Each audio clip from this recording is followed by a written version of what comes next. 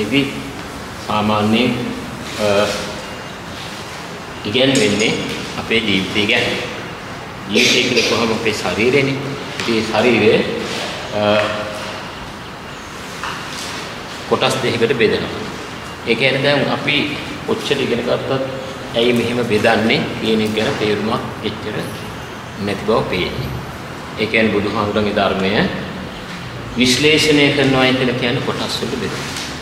සංශ්ලේෂණය කියලා කරනවා සංශ්ලේෂණාත්මක දැනීම කියලා කියන්නේ සමස්තයක් වශයෙන් අරගෙන ඒ ගැන විග්‍රහ කරන එකට තමයි සංශ්ලේෂණ. විශ්ලේෂණය කියලා කියන්නේ කොටස කොටස කොටස කඩලා බෙදලා දක්වලා විග්‍රහ කරන එක. ඉතින් ඒකෙදී නාම රූප හැටියට ඒ වගේම දෙතිස් කොටස් හැටියට ස්කන්ධ පංචකයේ හැටියට ආයතන හැටියට කියලා එහෙම බෙදලා තියෙනවා. ඒකට එහෙම බෙදීමක් කළේ මොකද බුදුහාමුදුරුවෝ? එහෙම බෙදීමක් කළේ සාමාන්‍යයෙන් අනාත්මවාදය තහවුරු කරන්න ඕන නිසා. තව විදිහකට කියනවා නම් දැන් සක්කාය දිට්ඨිය කියලා කියන්නේ මොකද්ද? සක්කාය දිට්ඨිය කියලා කියන්නේ මේ මමේ මාගේ කියන හැඟීම කියලා කොටෝ තියෙන්නේ. ඒක පොඩි වෙනස්කම් තියෙනවා. කොහොම හරි තමාගේ ශරීරයේ පිළිබඳ තියෙන වැරදි දෘෂ්ටිය තමයි සක්කාය දිට්ඨිය කියන්නේ. වැරදි දෘෂ්ටිය කියන්නේ මොකක්ද? මමත්වයෙන් ගැනීම, සත්වයක් හැටියට සිටීම, පුද්ගලයෙක් හැටියට සිටීමට කියනවා අපි වැරදි දෘෂ්ටිය කියන සක්කාය දිට්ඨිය. ඒකට ඒක ඛණ්ඩණය වෙන්නේ දැන් මිනිසයයි කියලා කියන එක ධර්මයට අනුව අපි ඒක වැරදි වහරා සම්මුතියදී අපි මිනිසයා කියලා කියනවා. නමුත් අපි ධර්මයේ හැටියට කියන්නේ භාවනා කරන කෙනෙක්. ඒ වගේම පරමාර්ථ ධර්ම සාක්ෂාත් කරගන්න කෙනෙක් එහෙම කියන එක වැරදි. ඒ හින්දා සඳහන් කරන මොකද නාම රූප දෙක දෙකක් කියලා තමයි කියන්නේ. ඒ කියන්නේ සත්වයා කියලා කියන්නේ නාම රූප දෙකේ එකතුවක්. එහෙමනේ කියන්නේ. එතකොට අපි මූලික වශයෙන් එතකොට බෙදනවා මනුස්ස ශරීරේ නාම රූප කියලා. දැන් නාම රූප කියන එකේ නාම කියන එකට අයිති වෙන්නේ මොනවද? ඔව් සිතිවිලි හිතයි. සිතිවිලි හිතයි. චිත්ත චෛසික. ඒ රූප කියලා කිව්වහම පස්සේ සාමාන්‍ය ශරීරය ගැනීම. ශරීරය ගැනීම. භෞතික දේවල්නේ. ද්‍රව්‍යමය දේවල්. ඒක රූප කියන එක එහෙම ගෙන්නවා නාම කියන එක අර විදිහට ගැනෙනවා. එතකොට මේකෙදී අභිධර්මයේදී ධර්ම හතරක් කියවෙනවා. සිත ගැන කියවෙනවා. සිතිවිලි ගැන කියවෙනවා. ඒ වගේම රූප ගැන කියවෙනවා. ඒ වගේම නිවන ගැන කියවෙනවා. අපි නිවන කියන එක පස්සේ කතා කරමු. මේ කොටස් තුන ගැන මුලින් කතා කරන්න. මොනවා ගැනද? සිත ගැනයි සිතිවිලි ගැනයි රූපය ගැනයි. දැන් අභිධර්මයේදී සාමාන්‍යයෙන් අභිධර්මය පාඩම් ගත්තාම අපි හුඟක් දෙනෙක් නෙමෙයි හැම දෙනාම වගේ ඉගෙන ගන්න අභිධර්මාර්ථ සංග්‍රහය අභිධර්මා සංග්‍රහය කියන පොත ලිව්වේ අනුරුද්ධ හාමුදුරුවෝ ඒ හඳුරු ලංකාවේ හාමුදුරු කෙනෙක් නේ දකුණු දකුණු ඉන්දියාවේ ද්‍රවිඩ ජාතික හාමුදුරු කෙනෙක්. එතකොට අපි දැන් බල පොත් කියවන්නේ සිංහල හාමුදුරු කෙනෙක් අභිධර්ම කිව්වේ ඒ හාමුදුරු අනුරුද්ධ හාමුදුරු ඒ පොත තමයි හුඟක් අය පරිශීලනය කරන්නේ. දැන් එතකොට හැමෝම කියන්නේ පරමාර්ථ ධර්ම ගැන කියන සම්මුති ධර්ම ගැන කියන චිත්ත ගැන කියන ඒ විදිහට. ඒකට වෙනස් විදිහට මම මේ පාඩම් කරන්නේ. මේ පාඩම් ටික කරන ඊට වඩා වෙනස් විදිහට සාමාන්‍යයෙන් අපි ප ဋ ාහන ධර්මෙත් කියවනේ. ප ဋ ාහනේදී කොහොමද කියන්නේ හේතු හේතු සම්ප්‍රයුක්තකාන ධම්මාන තං සමුට්ඨානානං රූපානං හේතුපච්චේන පච්චු පළමුව කියන්නේ ඒකයි. එතන කියන්නේ මොකද්ද? හේතු හේතු කියලා කිව්වේ මූලාර්ථය. ගහක මුල් වගේ අපි හේතු හඳුනනවා මූලාර්ථය මුල් වෙන අර්ථය. නේ? දැන් අපි දැන් බැලුවොත් එහෙම මෙහෙම ගහක් යනකොට එහෙම මේ ගහ තියෙනවා. මේ ගහේ මුල් තියෙනවා. අපි කියන ගහට මුල් තියෙන ලෝභ, දෝෂ, මෝහ නේ? මෝහ. දැන් මේ මුල් වලින් පොහොර හදියට යනවා නම් ගහ හොඳට හැදෙනවා. ගෙඩි, කොළ, මල් හැදෙනවා. මොනවද? මේකෙන් පොහොර යන්නට ඕන. ඒ වගේම වතුර යන්නට ඕන. මේ පටවි රසය යන්නට ඕන. ගහක් හැදෙන්න ඕන කරන දේවල් ඒවා. ඒකට ඒවා යන්නේ නැත්තම් මොකද වෙන්නේ? ගහ දුර්වල වෙනවා. කේලෑ වෙනවා කියන්නේ. මොකද කොලත් නැහැ බලුත් නැහැ ගෙඩිත් නැහැ එකම ගහ බැරි නැහැ. ඉතින් අපිත් ඔය ලෝභ කියන දැන් අපි කියන්නේ හේතු කියලා එකක් නේ. හේතු කියන්නේ ලෝභ දෝෂ මොහ නරක පැත්තෙන් පව් පැත්තෙන් හොඳ පැත්තෙන් මොකද්ද? අලෝභ අදෝෂ අමෝහ. එතකොට මේ දෙකෙන්ම කෙරෙන්නේ සිතිවිලි ඇති වෙන එක. සිතවිලි ඇති වෙන එක.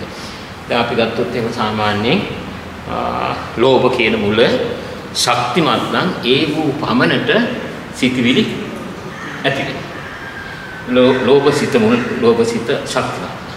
ලෝභ සිත දුර්වල නම් එහා සමාන සිතවිලි අඩුවෙන් තමයි ඇති වෙන්නේ. ඔබ උදාහරණයක් කිව්වොත් එහෙම මෙහෙමයි. සාමාන්‍ය අපි කියමු පුද්ගලයෝ දෙන්නෙක් දකින්නවා මොනවා හරි දෙයක්. දැන් සමහර මිනිස්සුන්ට තියෙන ප්‍රශ්නයක් තමයි මේ වාහන වල තියෙන ආසාව. හැමෝම නෙමෙයි සමහර අය. ඒක කතා කරනකොට තේරෙනවානේ. ඉතින් ඒ වගේ වාහනයක් දැක්කම මෙයා කල්පනා කරනවා මේක කොහොම හරි ගන්න. හිතන හිතන හිතන හිතීමේ නවතින්නේ නැහැ. ඒ කියන්නේ සේල් දිහා බලනවා, ඒ ගැන තියෙන විස්තර බලනවා. ওই වාහනයක් දැක්කොත් එහෙම ඒ වගේ එකක් ගන්න ඕන කියන අදහස තමයි යාලි තියෙන්නේ. ඉතින් ඒ වගේම තවත් කෙනෙක් ඒක දකිනවා. එයාට ඒක වාහනේ විතරයි. ඒක බැලුවා ඉවරයි.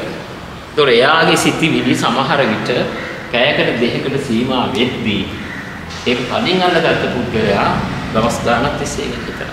සමහර විට සල්ලි හොයන්න මානසි ගන්නවා. හොඳින් හරි නරකින් හරි සල්ලි පේනවා. තමන්ගේ ආසාව. ඉතින් ඔබ සාමාන්‍ය ස්ත්‍රී පුරුෂයන් පිළිබඳවත් එහෙම. සමහර වෙලාවක වුණෝන් පිළිබඳ සිත් ඇති කරගෙන ජීවිතයේ විශාල වෙනසකට මේ හේතු වන විදිහට සිතුවිලි පහළ වෙන්න පුළුවන්. ඉතින් ඒක නිසා මෙතනදී අපි තේරුම් ගන්නවා කරන දේ තමයි ඒ ලෝභ මූල ශක්තිමත් වුනහම දැන් දෝෂ මූල ඔබ හොඳට තේරෙනවා. කවුරු හරි අපිට හිතේ දෙන්න වචනයක් කිව්වොත් සමහරවිට ඒක දවස් දාන මේ මූල වල හිතවිලි පහළ වෙන්න පුළුවන්. විවිධ තවත් කෙනෙක් ඉන්නවා එහෙම කුත් එහෙම මේ මොහොතකින් පැයකින් දෙකකින් අමතක කරලා. ඒක වෙලාවක් තියෙනවා. ඔක්කොම අමතක කර දෙන්නව ලොකු වෙනසක් තියෙනවානේ. ඒ මොකද හේතුව ඒක දෝෂ මූලික ශක්තිය. ඒ මුල ශක්තිමත් උනන් පස්සේ මොකද වෙන්නේ? පොහොර අදින්න වගේ වතුර අදින්න වගේ පොළවේ රසය අදින්න වගේ එකෙන් ගහ ශක්තිමත් වෙනවා. ඒ වගේ අපේ සිතිවිලි එතකොට පොළ ගස් පොළ මල් ගෙඩි හැදෙනවා වගේ සිතිවිලි ගොඩක් හැදෙනවා. එතකොට දැන් මෝහ කියන එකත් එහෙමයි. මෝහ කියන එකේ සාමාන්‍යයෙන් අපි සමහර අය හුකට කියන මෝඩකම කියලා මෝඩකම ඊට වඩා පුළුල් අර්ථයක් තියෙනවා. දැන් සමාජයේ පවතින දෙයක් කතා කරොත් එහෙම සාමාන්‍යයෙන් සමහර මිනිස්සු ඉන්නවා බෞද්ධයෝම එක එක පැති අල්ලගෙන ඉන්නවා. මේ පන්සල හොඳයි. මේ ආරණ්‍ය හොඳයි. අපි යන්නේ ඒක. අපි යන්නේ ඒ හාමුදුරුවෝ බණ. සමහරවිට ගමේ පන්සලේ තියෙද්දි යනවා හැතැම්ම ගලන් මේ බස් වල නැගිලා හරි එහෙටමයි යන්නේ. ඒතකොට ඒ හාමුදුරුවෝ කියන ඒවා විතරයි පිළිගන්නේ. මම මේ බෞද්ධයාට. දැන් ලංකාවේ බුදුහාමුදුරුවෝ කල්ලා කියලා කට්ටියක් වුණ කැසකාව. මිනිසුන්ට වැඩක් ගන්න පුදුමාකාර දැන් දැනගලා තියෙනවා මේ බුදුහාමුදුරුවෝ ලංකාවේ පන්න කියන එක තහවුරු කරා. ඒතකොට ඒ අය කැමති වෙන්නේ ඒ අදහස පිළිගන්න අයට. ඒක නිසා ඔක දිට්ඨිය. ඒ දිට්ඨියට අලුත් කරන එක. ඒක මෝහය. මොනවා හරි දෙයක කඩින් අරගෙන අනිත් අයටත් ඒක කරදරයක් වන විදිහට කතා බහ කරන්න ගියන් පස්සේ මේක මහ පිස්සුවක් නෙනේ. එහෙම අය ඉන්නවා. ඕන තරම් හම්බෙලා තියෙනවා. දැන් අපිත් එක්ක සමහරවිට ඒගොල්ලෝ කියන දෙයට අපි එකඟ නොවුනොත් ආයෙ එන්නෙත් නැහැ. ඒ වගේම අපි ගැන වැරදි විවේචනයක් මිනිසුන් අතරට යනවා. ඉතින් ඒක මෝහයේ ලක්ෂණ. තවත් තියෙන සාමාන්‍යයෙන් සමහර විට සමහර අය ඉන්නවා ගේ අතු ගා ගන්නෙත් නැහැ. තමන්ගේ ඇඳුමක් පැළඳුමක් හරියට හොද ගන්නෙත් නැහැ. අවුල් සහගතව ඉන්න අය ඉන්නවනේ. ගෙදරකට ගියම් තේරෙනවා. ඒ වගේම තමයි කොච්චරක් කලබලේ වැඩක් හරියට කරන්න තැම්පත්කමක් නැහැ. එහෙම අය. ඒ වගේම තවත් සමහර අය නිින්ද වැඩක් හරියට කියන්නේ වැඩක් කර පළක් කරන්න කම්මැලිකම, කුසීතකම. මේ ඔක්කොම අයිති වෙන්නේ මෝහය කියන එකට. මේ මෝහ කියන මුල වැඩි නම් සත්‍යමත් වෙන්න ඒ තරමට ඒ පුද්ගලයා කලබලයි, සැක කරනවා, නිදිමත ගතියෙන් යුක්තව ඉන්නවා. මෝහයට අයිති හැර හැම දුර්වලතාවයක්ම අතුල තියෙනවා. සාමාන්‍ය දුර්වල ඒ කියන්නේ ඒ මුල දුර්වල එකක් නම් විතර ශක්තිමත් නැති එකක් නම් එහෙම නැහැ. අමුතු විදිහට විත්තිග්‍රහණය කරන්නෙත් නැහැ. කුසීත බවක් ඇත්තෙත් නැහැ. වැඩිපුර නිදාගන්නෙත් නැහැ. ඔකේ පිළිලක් තියෙනනේ. ඉතින් ඒක නිසා මේ මුල් තුන ශක්තිමත් වුණොත් එහෙම වෙන්නේ මොකක්ද? එයාගෙන් අකුසල් කෙරෙනවා, පව් කෙරෙනවා නේ. ඉතින් අර අපි ප ဋ ාහනේදී කිව්වේ ඒකයි හේතු. හේතු කිව්වොත් ඔය තුනක්. කුසල පැත්තෙනුත් එහෙමයි. කුසල පැත්තෙන් කියලා කියන්නේ දැන් මේකට අපි අලෝභ කියලා කිව්වොත් එහෙම ඒ ඒ මුල බොහෝම ශක්තිමත්. දානයක් දෙන්න ගියාම වසුරු නැහැ, ලෝභ නැහැ, ආසාව නැහැ, අත්හැරදී. කවුරුත් අත්හැරලා තමයි දෙන්නේ. මොකද සිතෙනු ඒක අත්හැරලා. අදෝස කියන එකේදී මොන ගැටීම ආවත් මොන කරදරය ආවත් මොන බලාපොරොත්තු පළවීම ආවත් ඒ හිත කලකිරීමකටපත් වෙන්නේ නැහැ. නේ? ඒකට කුසල පැත්තේ. අමෝහය කියන කොටත් එයා හොඳට මේක ප්‍රතිඵල හිතලා ඒ හිතට අරගෙන තමයි දාන්නේ. මිනිස්සු දානේ දෙනවා. අපිට පේනවනේ සමහරවිට දානේ දෙනවා දෙන්න ඕන නිසා දෙනවා සලකලා. දෙන්න ඕන නිසා. අනිත් අය දෙන්න නිසා කවුරුත් කියපු නිසා අම්මා තරහවි අක්කා තරහවි නෑදෑය තරහවි මේ මිනිස්සයා මරලා මෙච්චර කාලක් වෙනවා දන් කටක් දුන්නේ. ඒ නිසා දෙන අය ඉන්නවනේ. නේ? ඒ නිසා අමෝහය කියන එක තියනවා නම් එහෙම නෙමෙයි. එයා හොඳට පින්පල අදහගෙන කර්මයේ විශ්වාස කරගෙන මම පුදුම ශක්තියකින් ඒක කරනවා. ඒක තමයි අමෝහය කියන හොඳ පැත්තනේ. කොහොම හරි ගහක් වැටෙනවා නම් මුල් වලින් වතුර පොහොර ආදී කිනිහිල්ලා ඒ වගේ මේ මුල් වලින් නරක පැත්තේ ලෝභ දෝෂම. හොඳ පැත්තේ අලෝභ දෝෂ අමෝහ. ඉතින් අපි ඕකෙදී අර හේතු කිව්වේ ඒකයි. හේතු සම්ප්‍රයුක්ත කාරණ ධර්මාන කියන්නේ මේ මුල් එක්කම ඇති වෙන සිතිවිලි. මුල් එක්කම සිතිවිලි ඇති වෙනවා. ඒතර ඒ සිතිවිලි තමයි සම්ප්‍රයුක්ත කරන්නේ. සමුත්ථාන රූප කියලා කියන්නේ මොකක්ද? දැන් අපි දන්නවා රූප උපදින හේතු හතරක් කාම චිත්ත යුතු ආ මෙතන කියන්නේ මොනවද? චිත්තජ රූප. නේ? හිත නිසා රූප ඇති වෙනවා. කවුරුත් එක හිතන්නේ නැහැ. ප්‍රබල බලපෑමක් තියෙනවා අපේ ශරීරයේ පැවැත්මට හිත. සමහරලාට හිත නිසා ලෙඩ වෙනවා. දැන් කේන්ති ගත්තාම කොච්චර මූණ වෙනස් වෙනවද නේ? සිල් ගත්ත දවසට කොච්චර මූණේ යම් කිසි පින් පාටක් තියෙනවද? මේක අපිට තේරුම් ගන්න පුළුවන්. ඒ නිසා රූප ඉපදවීම එතකොට මේ බලපාන. නරක පැත්තෙන් ඒවා බලපානවා අලෝභ දෝෂ සමුඛයෙන් පස්සේ පැත්තේ ඒවා බලපාන්නේ. එතකොට ඕක තමයි ස්වභාවය. දැන් අපි සාමාන්‍යයෙන් සිත ගැන තමයි මුලින් ඉගෙන ගන්න. සාමාන්‍යයෙන් සිත් කොච්චර තියෙනවද සිත් කොච්චර තියෙනවද සිත් වර්ග කොච්චර ප්‍රමාණෙම වහන සිත් වර්ග. අපි බලමු බලමු අකුසල අකුසල සිත් නේ අකුසල. ඊළඟ කුසල කුසල. ඊළඟ විපාක නේ? විපාක. ඊළඟ ක්‍රියා. තව මොනවද අකුසල සිත් තියෙනවා කුසල සිත් තියෙනවා විපාක සිත් තියෙනවා ක්‍රියා සිත් තව මොනවද තව තව? මොනවද සිත් ක්‍රියා සිත් තියෙනවා. විභාග මොකද භවාංග සිත් නේ? භවාංග භවාංග සිත්. තව අහේතුක සිත් කියලා තියෙනවා. අහේතුක සිත් නේද? අහේතුක සිත්. අහේතුක සිත්. දැන් මොන සිත් වර්ග. එතකොට කුසල සිත් තියෙනවා අකුසල සිත් තියෙනවා විපාක සිත් තියෙනවා ක්‍රියා සිත් තියෙනවා භවාංග සිත් තියෙනවා අහේතුක සිත්. දැන් ඔය ටික තමයි මම උගන්වන්නේ. ඒ කියන්නේ අද ඔක්කොම උගන්වන්නේ නැහැ. ක්‍රමානුකූලව එකින් එක එකින් එක මම කියන්නේ. දැන් අපි මුලින්ම මේ අකුසල සිත කියන එක බලමුකෝනේ. අකුසල සිත. අකුසල සිත කියලා කිව්වහම අකුසල වලට මුල් වෙන්නේ මොනවද? මෙන්න මේ මුල්. හේතු. ලෝභ හේතුව, දෝෂ හේතුව, මෝහ හේතුව. දැන් සමහර අය මොන හරි වරදක් වුණාම අපිට පාපයක් වෙලා තියෙනවා කියලා කවුරුද? එයාට ඒක සැකයක්. එයා අහනවා අනුන් පිට දාලා හරි මෙහෙම දෙයක් වුණොත් ඒක පාපයක්. කාගෙන්වත් අහන්න ඕනේ ඒ කරපු ක්‍රියාවට මොනතරම් දුරට ලෝභ මූලයේ සම්බන්ධද? දෝෂ මූලයේ සම්බන්ධද? මෝහ මූලයේ සම්බන්ධද? අන්න ඒ තරම් දුරට ඒක අකුසලයක් පාපයක් වෙනවා. මේ අකුසල කුසල පින් කියන දෙකේ වෙනස පස්සේ කතා කරමු. දැනට අපි තේරුම් ගන්නට ඕන කුසල කියන්නේ ඒවයි. අකුසලයක් පවක් ගැන කියනකොට මොකද්ද මුල් වෙන්නේ? ලෝභ, දෝෂ, තමා කළ දෙයට මේ මුල් තුන මොන විදිහටද සම්බන්ධ වෙන්නේ කියලා හිතලා අන්න තමම තීරණය කරන්න කාගෙවත් අහන්න කරන්නේ නැහැ. මේ අකුසල කියලා කියවන් පස්සේ කොට අපි සාමාන්‍යයෙන් අපි ඉගෙන ගන්න ඉගෙන ගත්ත ධර්ම විදියට හිත ගණන් කරන්නේ නැහැ. සාමාන්‍ය මෙතන කියන්නේ. දැන් උතන අකුසල කරනකොට මිනිස්සු ඇත්ත වශයෙන් පව් කරනකොට එක හා සමානව පව් කරන්නේ නැහැ. නේ? දැන් මෙහෙම දෙයක් තියෙනවා.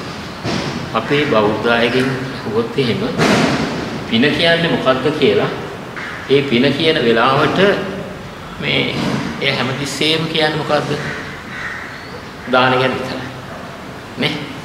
නේ? පව මොකද්ද කියලා වුණාම පව ගැන කියනකොට සාමාන්‍යයෙන් සතුන් මැරී පෙර විතරයි. නේ? හැබැයි ඒක දෙයක් තියෙනවා. දැන් අපි සමාජ කෙනෙක් කියනවා මේ ප්‍රතිපත්ති කරන අය ප්‍රවෘත්ති බල පාපම මේ ප්‍රවෘත්ති බලන්නේ. පත්‍ර පත්‍ර කියනවා. හරි. දැන් ආරණ්‍ය වලත් සමහර විට එහෙම නීතියක් තියෙනවා. මොකද සමහර ආරණ්‍ය සේනාසන වල රූපවාහිනිය නැහැ, කම්පියුටර් නැහැ, පත්තරකුත් නැහැ නේ. ඒතකොට ඒගොල්ලෝ අමුතුම විදිහේ ජීවිතයක් ගත කරනවා. ධර්මයේ කියන එක පොතෙන් වගේම සමාජ ජීවිතයේ ධර්මය ගැන ඉගෙන ගන්න පුළුවන්. නේ? ප්‍රශ්නේ තියෙන්නේ මොකක්ද? ඒ ගැන අපි බලනකොට කියනකොට කියන්නේ නැහැ මිනිස් පොත් බලනකොට බැලෙන්නේ. මේකයි කාරණේ. දැන් අපි ඔය ලෝභ මූලයේ දෝෂ මූලයේ මෝහ මූලයේ හිංසා කෙරෙනවා. ඉතින් අපි ලෝභ මූලයේ මුල් වෙලා කරන පව් කිව්වහම මොනවා වගේ පව්ද කෙරෙන්නේ?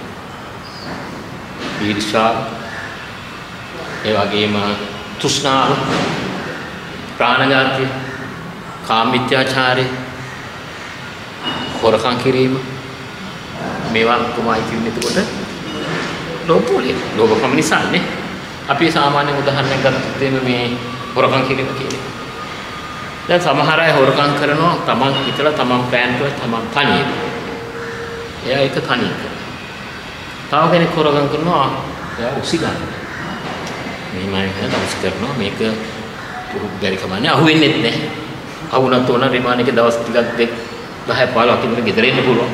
අද ඒක නෙවෙයි මිනිස්සු බය නැහැ අත වශයෙන් පව් කරන්න දඬුවම ලිහි වෙනකොට.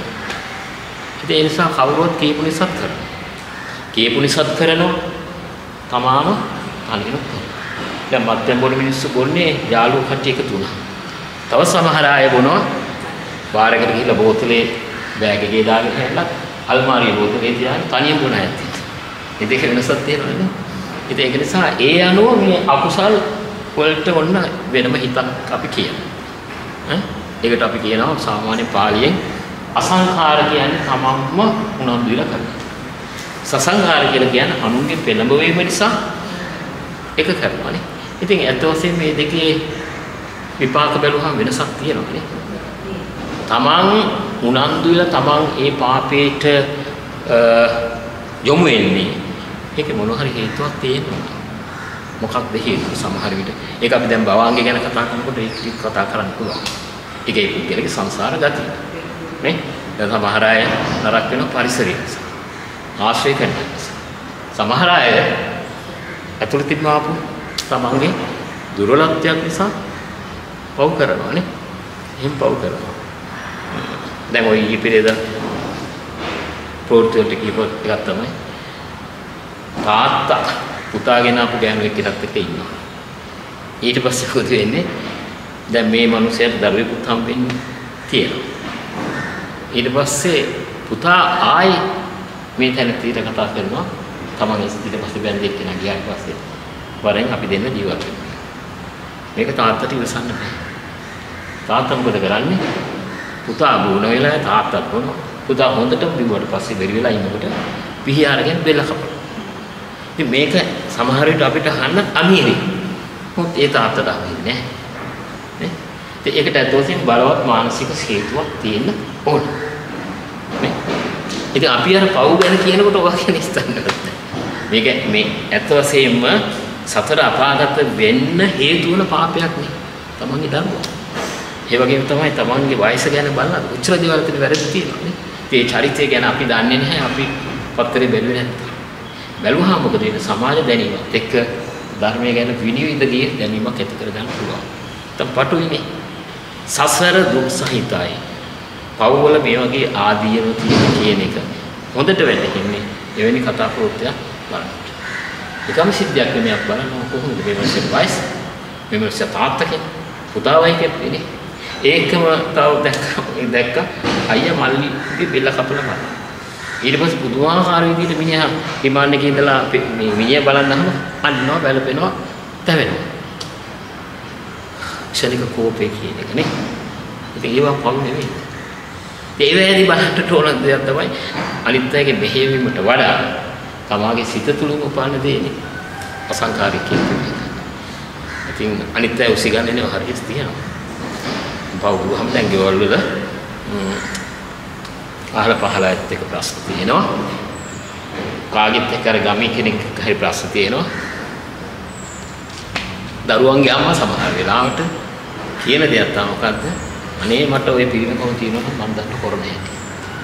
මුගක් වෙලාවට ගෙවල් වල ප්‍රශ්න දිගින් දිගට යන්නේ වැඩි වෙන්නේ. මිනිස්සයා ඉවසන. මහත්ය ඉවසන. නමුත් නෝනාට කල්පනාවක් නැහැ. නොදන්න කම නිසා මොකද වෙන්නේ? අර මිනිස්සයා උසි ගන්නවා. උසි ගෙන්නේ පස්සේ.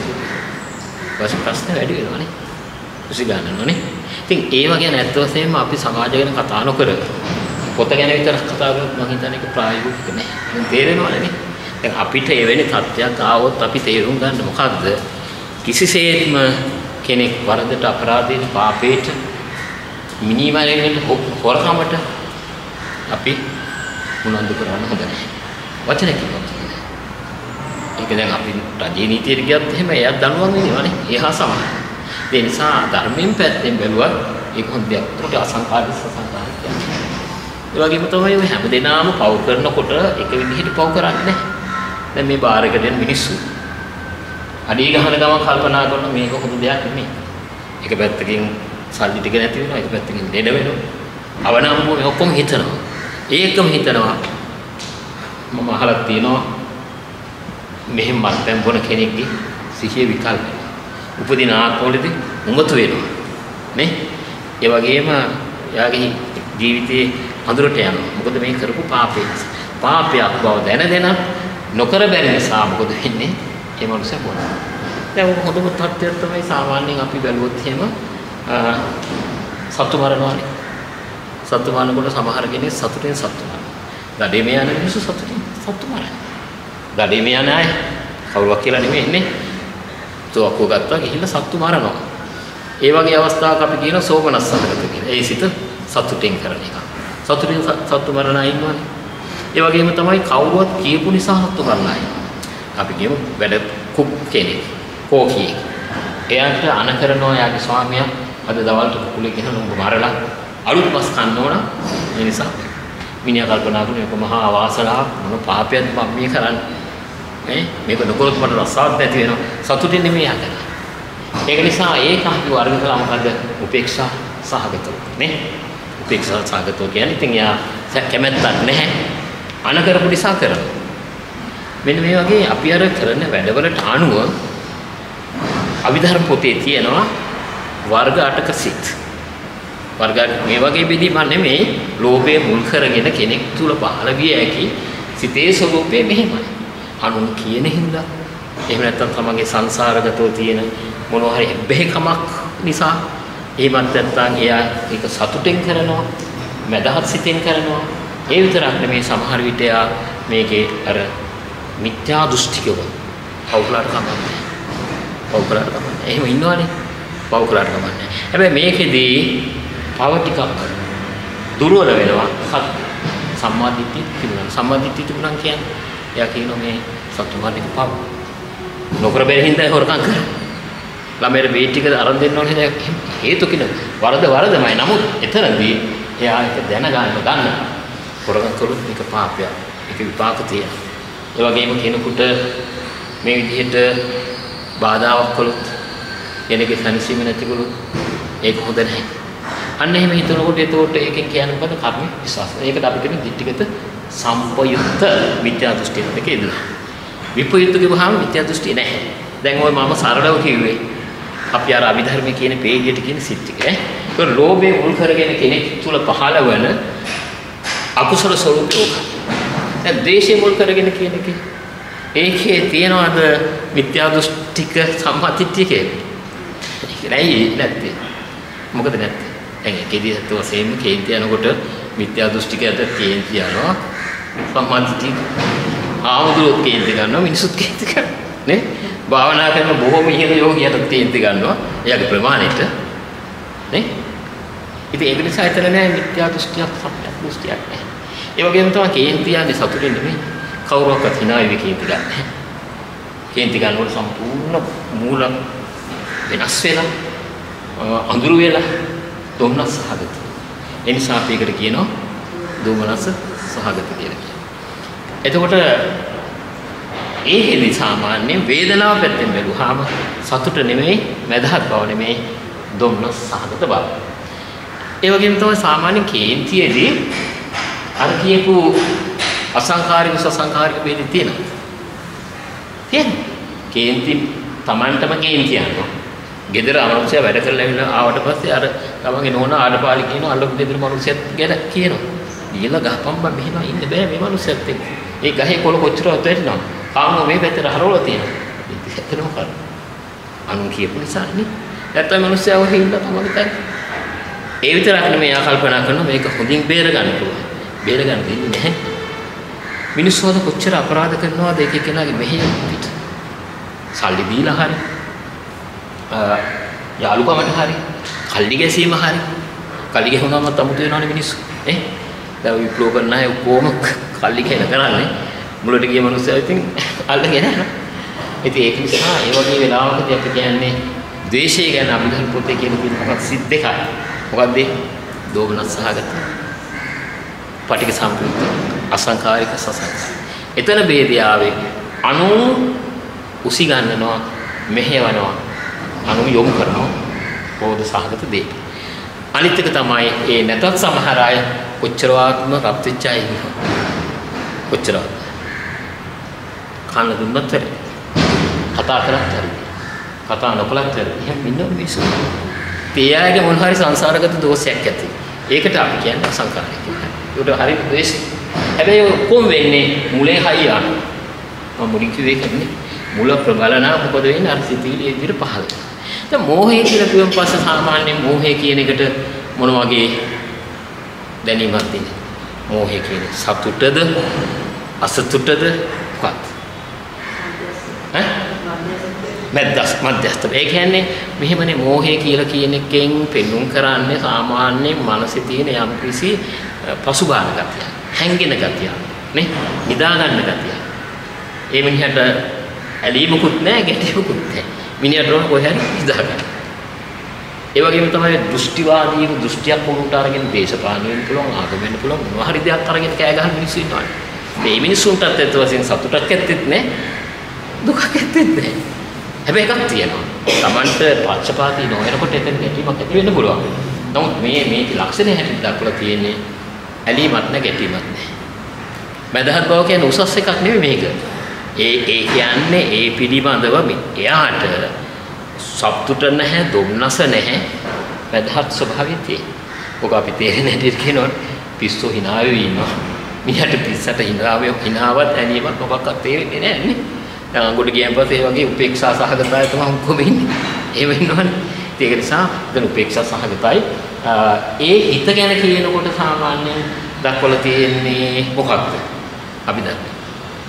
මොකද්ද? විචිකිච්ඡාවයි උද්දච්ච කියන එක. මොකද්ද උද්දච්ච කියලා කියන්නේ? ආඩම්බර කම්පන. උද්දච්ච කියලා කියන්නේ මේ කලබලකාරී විසිරිච්ච ස්වභාවය. උදේ 9ට 10ට විතර සමහර ගෙදරකට යනවා. කුස්සිය වැඩ ඉවරක් නැහැ. මිදුල අතු ගාලක් නැහැ. ගී අතු ගාලක් නැහැ. හැබැයි එහෙට දුවන මෙහෙට දුවන හරියට වැඩ තියෙන විදියට. එතකොට කියනවා කවුරු හරි අනේ මේ නුගරේ ගම් ගියා ආවේ ගේ අතු ගා ගන්න බැරිුණානේ. කොණ්ඩේවත් පීර ගන්න බැරි වුණා. එහෙම කොච්චර ඉන්නවද කියලා. හැබැයි ඊට වඩා සමහර අය ඉන්නවා උදේ 6 7 වෙනකොට ගේත් අතු ගාලා වෙලයි බුදු අතු ගාලා වෙලයි පුදුම වෙදලා උඩ පිළිවෙලට ගියා. නේ? එහෙම. ඒතකොට ඒකෙන්ම පේනවා මේ මෝහය තද බල එක්කෙනාට විලෝදයක් ගියක් අතු ගන්න බෑනේ හරියට. ඒක අතු ගන්න. එහෙම ඉන්නවනේ. එතකොට ඒක ඇත්ත වශයෙන්ම නොසන්සුන් භාවයේ ලක්ෂණය. අම්මා කෙනෙක් නම් දරුවන්ට ඉතින් දෙයියන්ගෙන් පිළිගන්න. තාත්තලත් එහෙමනේ. තාත්තලත් ඉතින් උදේට තේක බීලා කට හොදලා පරික්කමට දානවා තේක බොනවා ඊට පස්සේ ආයි පොරෝගෙන් නිදා ගන්නවා. ළමයින්ට ඒ කවුරුන් නිදා ගන්නකෝ පාඩම් කරා කියලා. එහෙම ස්වභාවයක් තියෙනවා. ඉතින් ඒක නිසා මෝහය කියන එක ඒ වගේ දෙයක්. ඒ නොසන්සුන්කම කියන්නේ. සැක කිරීම කියන එක අපේ ධර්මයේ සඳහන් කරන්නේ මේ බුදුරජාණන් වහන්සේ ගැන. ධර්මයේ ගැන. පිළිවෙත ගැන. භාවනා කරන කෙනෙකුට සැකයක් ඇති වෙන ඕකට වැඩක් තියෙනවා. නේ? දන් දෙන කෙනෙක් කල්පනා කරලා මේ දන් දීලා වැඩක් තියෙනවා. යහපත අයහපත කියලා දෙයක් නැහැ. ඒක භයානකයි. විචිකිච්ඡා කියන එක හරි භයානකයි. ඒ නිසා සැක කිරීම කරන්න එතකොට අර මෝහ මූලේ. ඉතින් මේ මේ මේ මේ මූලයේ තියෙන ශක්තිමත් බව හරි දුර්වල බව හරි ඒ පුද්ගලයා තුළ ඒ හා සමානව මොනවද ඇති වෙන්නේ? සිතිවිලි ඇති වෙනවා. ඒක නිසා අභිධර්ම දිනම් කරන කොහොමද? උපේක්ඛා සාගත, උද්දච්ච සංපයුක්ත, උපේක්ඛා සාගත, විචිකිච්ඡා සංපයුක්ත. ඒක මෙහෙම දෙයක් වෙනවා. හරි ලස්සනයි. අපිට දැන් චරිතනාම චරිත චරිතන භාවනා කරනවා කියලානේ. ඒකෙදී අපි කියමුකෝ රාග හරි දෝෂ මෝහ. හරි? මේකනේ අපි දැන් කතා කරන්නේ ඔය ඔය ටික කතා කරන්නේ. දැන් මේකෙදී අපිට සාමාන්‍යයෙන් යම් කිසි දැනීමක් තියෙනවා නම් අපිත් එක්ක ජීවත් වෙන දරුවෝ හරි කවුරු හරි කමක් නැහැ.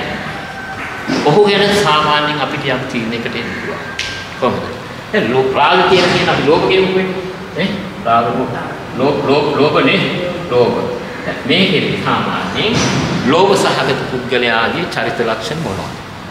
ලෝභ සහගත පුද්ගලයා. ලෝභ සහගත පුද්ගලයා ලස්සනයි, පිරිසිදුයි, පිළිවෙලක් තියෙනවා. ඒකින්ද බණ පොතේ කියන්නේ රාග චරිතයේට කාමකත්වයේ වගේම ශ්‍රද්ධාවක් තියෙනවා. කියන්නේ ශ්‍රද්ධාවයි රාගයයි කාමයයි එකට යනවා. ඇයි? සාමාන්‍ය ශ්‍රද්ධාවක් තියෙන ඔය ස්වාමීන් වහන්සේලා මෙතන බොහොම පිරිසිදු තියෙනවා. උදේ වෙලාවට අතු ගන්නවා, අමදිනවා. තමන්ගේ ඒ තියෙන දේවල් හොඳට පිළිවෙලට තියාගෙන ඉන්නවා. දැන් හුඟක් තැන්වලට ගියම බලන්න පන්සලකට කොච්චර පිළිවෙලක් තියෙනවද කියලා. උදේ පාන්දර ඒ කට්ටිය ඒ දේ කරනවා. මම දැන තැනක් තියෙනවා එතන ඉතින් කීප දෙනෙක් টয়ලට් හොදනවා. අනිත් අය දානශාලා තියෙන ටික ඔක්කොම හොඳට වින් දාලා හොදනවා. අනිත් එක්කෙනා බිම ඔක්කොම මොක් කරනවා. හැමදෙනාම. ඉතින් පැයක් ඇතුළත සියලුම දේ ඉවරයි. නේ? එතකොට ඒක තමයි එතකොට අර අපේ ශ්‍රද්ධාවන්තයා සදහැති භික්ෂුන් වහන්සේලා ඉන්න තැන්වල ඒ පවිත්‍රත්වය තියෙනවා. ඉතින් ඒ වගේම තමයි කාම රාග කියන ඒ පැත්තට බහැපු අයගේ ලස්සන උනා. ඒකින්ද විසුද්ධි මාර්ගය කියනවා රාගය තියෙනවා නම් කාමයේ තියෙනවා නම් එහෙම චරිතයක් තියෙනවා නම් එයා ඉන්න ඕන ලස්සන තැනක. එයාගේ වටේ ඉන්න අය කොයික ජලා පුරු පිළිත් ඇඳගත්තා ඉන්නවා. කැම්බීම් වුණත් සැපට හොඳ නැහැ. බොහොම කටුකෝ ලැබෙන්නේ. හරි? ඒක තමයි දක්වලා තියෙන්නේ. කොහොම හරි ලෝභ කියන එකත් එතකොට මොකක්ද දෙන්නේ? කාම කියන එක තියෙනවා. ඒ වගේම ශ්‍රද්ධාව නේ. රාග ශ්‍රද්ධාව මේ දෙක එකට යන්නේ. මේ ලක්ෂණ තියෙන ලෝභ ලෝභ ය වැඩි එක්කෙනාට. දැන් මේ දෝෂ කියන එකේදී දෝෂ කියන එකේ මොකක්ද තියෙන්නේ? ගැටීමනේ නේ ගැටීම. ඒතකොට දැන් අපි මේක ශ්‍රද්ධා චරිත කියනවා. ද්වේෂ කියන එකට මොකක්ද චරිතය? බුද්ධි චරිතය. නේ? බුද්ධි චරිතය.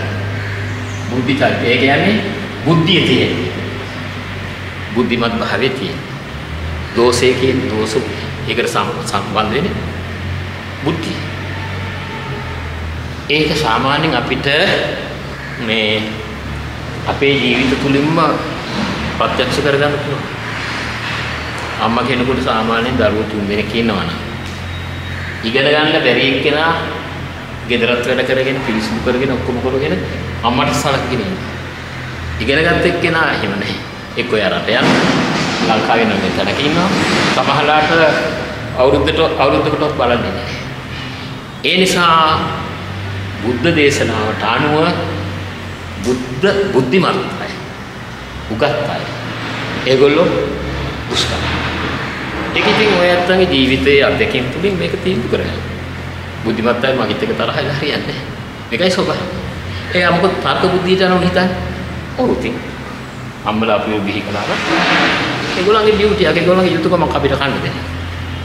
අපි ඒකට කරදේ කරදේ. ඒගොල්ලෝ කළා. අපිත් ඒගොල්ලන්ට ගානක් දෙනවා. අපිත් ගානක් දෙනවා. මෙන්න බෙහෙත් වල මෙන්න කෑම. ඉතින් ඉන්හාට යන්නේ. සංවේදී බව එතකොට අඩුයිනේ. නිසා බුද්ධි චරිතයේ හැටි ඈ දෝෂ. මෝහ කියලා කිව්ව පස්සේ මෝහ විතර්කේ සාමාන්‍ය සමහර මෝඩකම් වැඩුණා ඕ නොඑක ඒවා කල්පනා නොඑක ඒවා හිතන නොඑක ඒවා අවාද කරන නේ?